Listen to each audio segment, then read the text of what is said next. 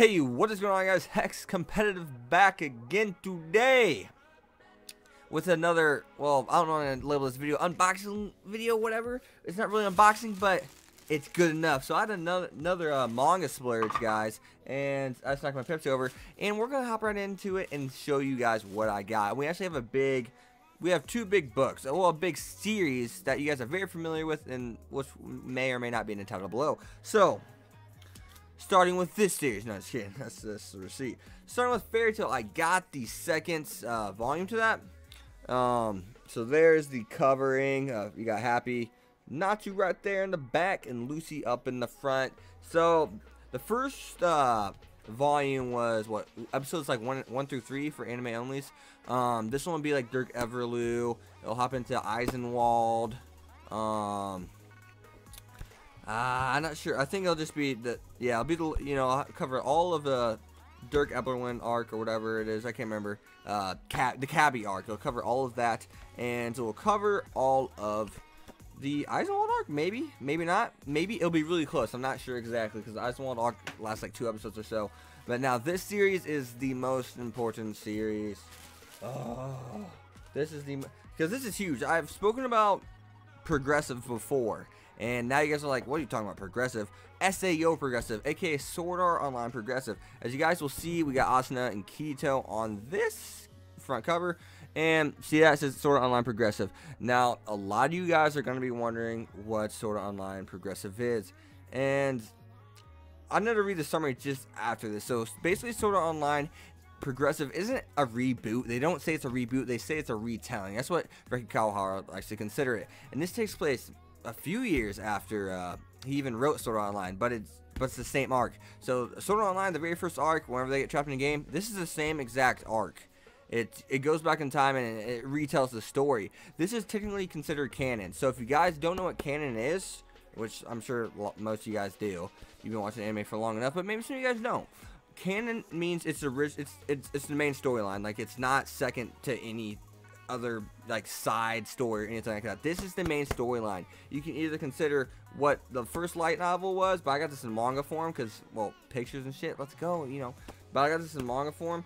So, so it's canon. It means it's just as good and it's just as original and it's the same thing. Yeah, it's, it's the same thing as the first art, guys.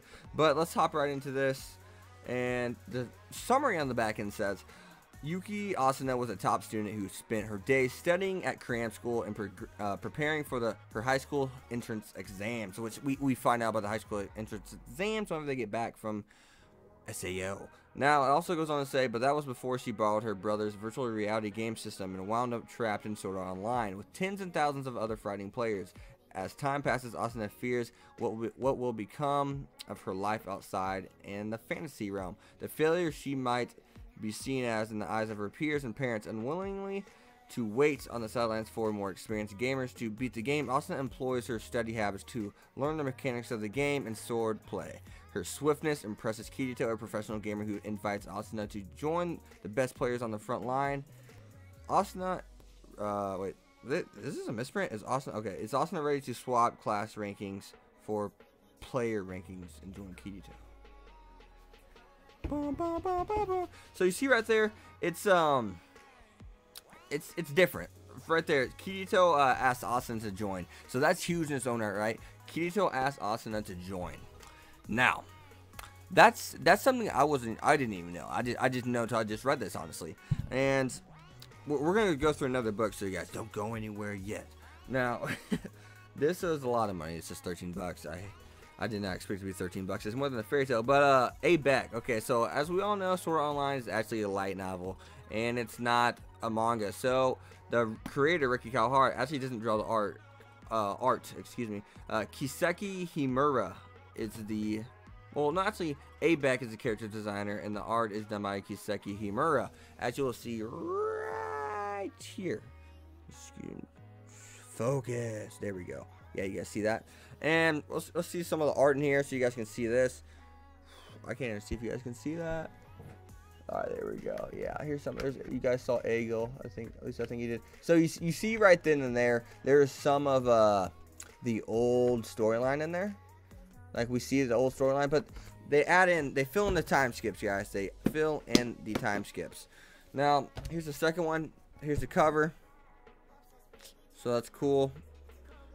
Um, the summary is no, the summary. This is volume two, by the way. So it's the next one. Obviously, I wouldn't skip a volume. Now, next one. The party is shaken when their leader, uh, Dive, Diavel Dable, is struck down by the boss of the first floor. Asuna and her teammates are confronted for the first time with the cruel reality of their situation. Sword Art Online is no mere game. Death here is final. Their comrade, oh wait, no, their commander lost the remaining fighters, begin to lose heart and plan their retreat. But the fight must go on, and they are to escape. If they are to escape this game world. And in the dying moments, Diavel managed to convey his appointment for the next commander, Kirito. Kirito. Now, the thing about that is, uh, we actually know that Kirito kind of loses his way. But yeah, read this, guys. Check it out. I will be doing a video about would would Sword, would Sword Art Online Season 1 be better if they followed SAO Progressive's uh, story? I mean, retail. Was Is SAO Progressive better than Sword Art Online Season 1? That's probably what, what I will say. And once again, it's the same story. Same exact story, but it fills in the time skips and Kirito and Austin. The biggest thing is Kirito and Austin. I'll probably make it I'll probably make a separate video on this honestly. Maybe I'll put it out today just so we can really go into a little bit deeper. I'll, I'll reiterate some of the things I said, but just go into a little bit deeper. So I'm just stop the video there guys. As always, be sure to leave a like, comment, subscribe. Follow me on Twitter at Hexx25. I'll see you guys next time. Peace.